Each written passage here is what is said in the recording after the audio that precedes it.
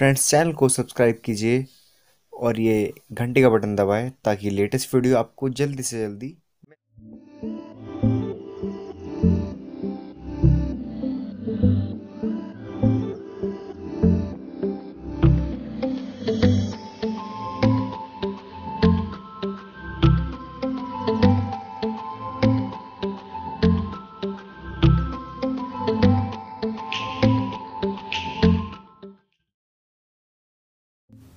दोस्तों, आपका बहुत बहुत स्वागत है ग्रीन स्पून गार्डन में।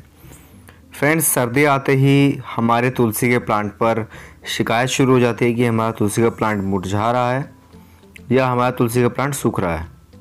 तो दोस्तों, आज की इस वीडियो में हम बात करेंगे कि कैसे आप अपने तुलसी के प्लांट को सर्दियों में सूखने से बचा सकते हैं। दोस्तों, आपके सामने ये एक प्लांट है, तुलसी का। ये मैंने सीड से ग्रो किया था। अगर आप जानना चाहते हैं कि तुलसी को सीड से किस तरह से ग्रो किया जाता है तो ऊपर आई बटन पर ये एक लिंक आ रहा है और डिस्क्रिप्शन के अंदर भी है। आप वहाँ जाकर वो वीडियो देख सकते हैं।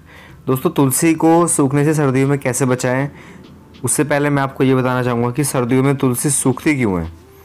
इसका सबसे बड़ा रीज़न होता है धुंध पड़ना और टेम्परेचर का नीचे जाना। तुलसी एक ट्रॉपिकल प्लांट है, जिसको धूप बहुत ज़्यादा पसंद होती है। और अगर इसको धूप नहीं मिलती है और धुंध पड़ती है तो वो प्लांट सूखने लगता है। तो उसको हमें भरपूर धूप देनी होगी और इसको हमें ठंड से भी बचाना होगा, पाले से बचाना होगा। तो दोस्तों, उसके लिए सबसे पहले हमें क्या करना होगा?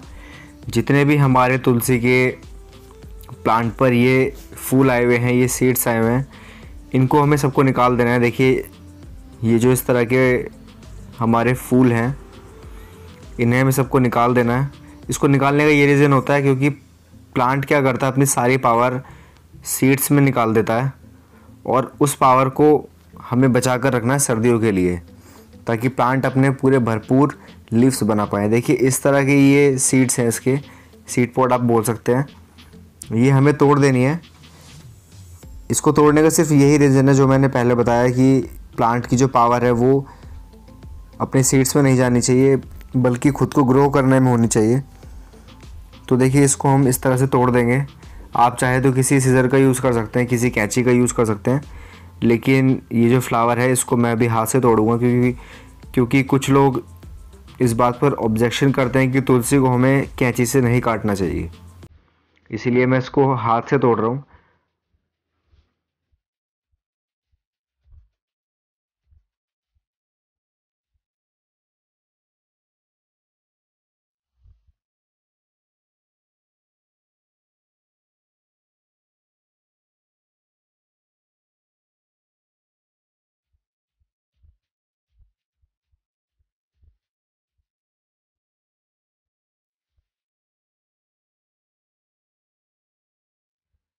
अब दोस्तों, हमारा अगला स्टेप है अपने प्लांट को कीड़ों से बचाना। सर्दियों में काफ़ी सारे कीड़े हमारे प्लांट में लग जाते हैं, जैसे कि एफिड्स हुए। तो उसके लिए हमें ये एक फंगिसाइड का पानी है। इसका हमें स्प्रे करना होगा। अभी फ़िलहाल मेरे पास स्प्रे बॉटल अवेलेबल नहीं है, वो ख़राब हो गई है तो इसलिए मैं फंगिसाइड पानी का जो छिड़का मैं इसके ऊपर करूँगा। आप एक लीटर पानी के अंदर एक चम्मच फंगिसाइड पाउडर मिलाकर डाल सकते हैं और थोड़ा सा आप सॉइल में भी डालिए। क्योंकि सॉइल के अंदर क्या होता है, हमारे काफ़ी सारे बक्स आ जाते हैं और उससे फिर बाद में प्रॉब्लम होती है।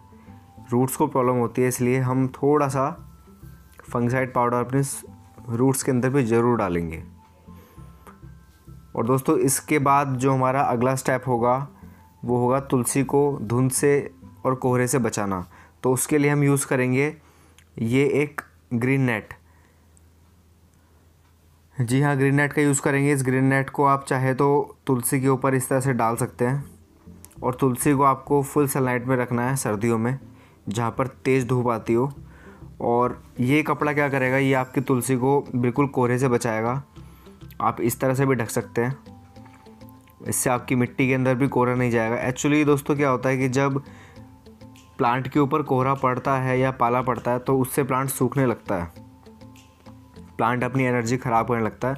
तो ये जो कपड़ा है, हम इसका यूज़ करेंगे। आप चाहे तो इसके लिए कोई भी कॉटन का कपड़ा यूज़ कर सकते हैं, कोई चुन्नी यूज़ कर सकते हैं।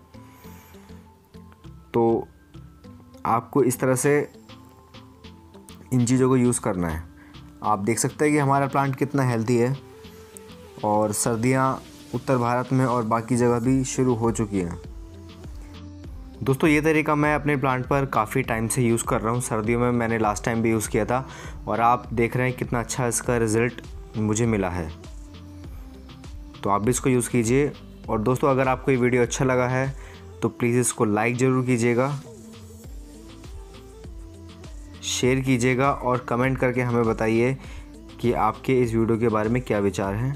Thank you so much